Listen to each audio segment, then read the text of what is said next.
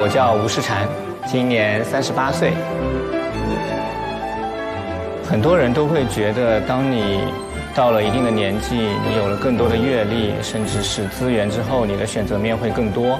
但其实，在我亲身的感受来说，我认为确实是更窄的。我之前做过一个大概的测算，可能整个上海和我合适的人不超过六千人。